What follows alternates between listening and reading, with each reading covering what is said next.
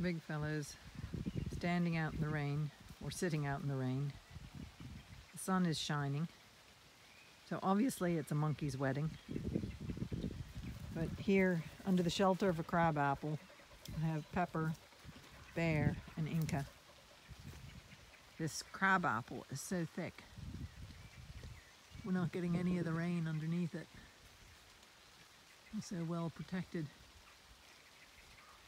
from the rain.